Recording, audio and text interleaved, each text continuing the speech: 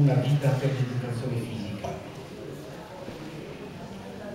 Io chiedo scusa, sono visibilmente commosso, anche perché la Bettina mi ha contagiato. E siamo qui oggi riuniti per festeggiare i 90 anni del professor Pivetta.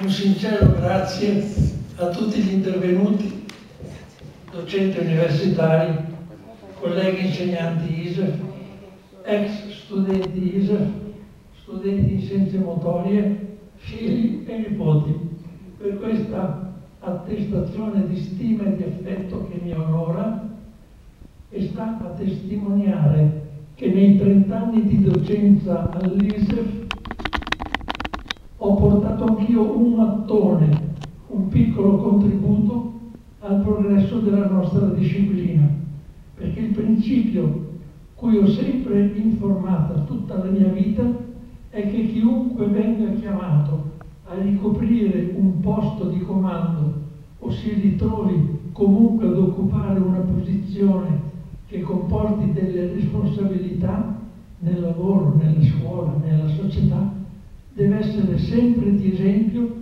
a coloro che gli vengono affidati e che gli si affidano.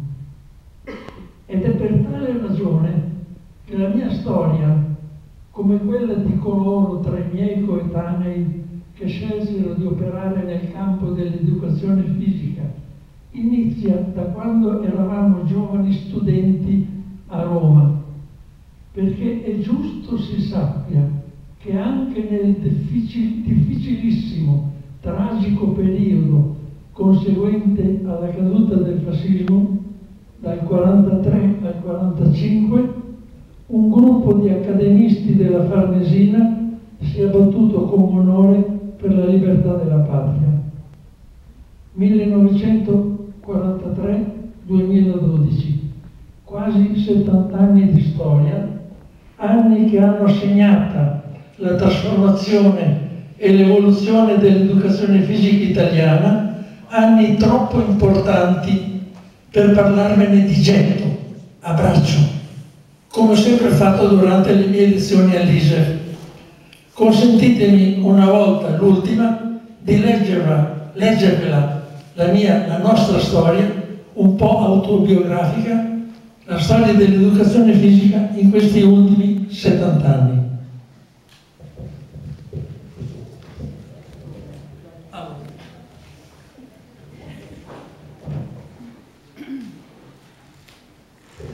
Parto da lontano.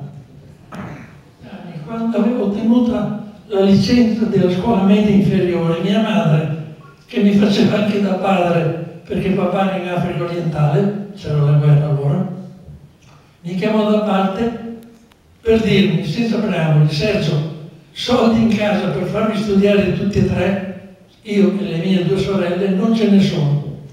Ma se sei disposto a continuare gli studi a Roma, forse una via d'uscita, sempre che tu riesca a vincere una delle 300 borse di studio che l'opera Balilla mette in palio, c'è.